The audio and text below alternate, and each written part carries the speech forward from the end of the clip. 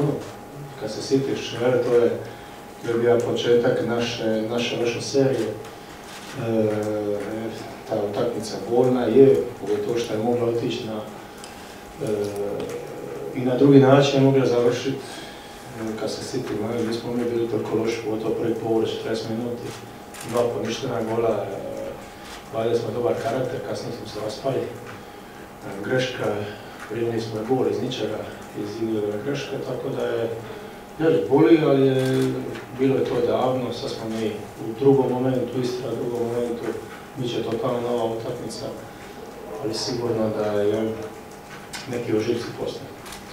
Pa Istra je dobra, Istra igra svoje, e, Istra je nama uzeli, kako ćemo reći, mi smo izgubili 5 bodova na Istri, izgubili smo 3-0 tamo, ovdje je bilo 2-2, gdje, smo izjednačili zadnjim minutama, tako da, to je tradicionalno jedan, jedan težak protiv, nezgodan protiv za nas, ekipa koja igra, igra svoje, iako su tu utakmicu u Puli su adaptirali, otišli su obranu pet protiv nas i, i adaptacijom su nas dobili, tako da mm, možemo prepostavljati šta će oni igrati, a mi, nama jednostavno, mi e,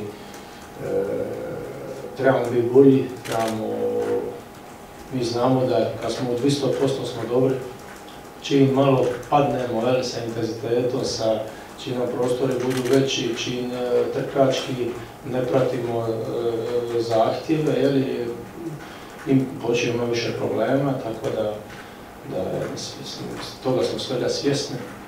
Tako da ja očekujem jedan, jedan dobar hajduk, motiviran, koncentriran, fokusiran, protiv protivnika koji sigurno zna, zna šta hoće. Jučer je bila slična utakmica. Dinamo ima od 3-0 po 15. minuti i utakmica kao doviđenja. Mi smo imali 0-3 pa nije bilo doviđenja.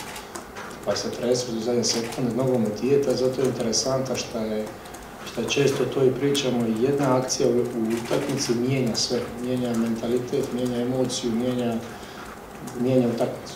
Mi smo srećom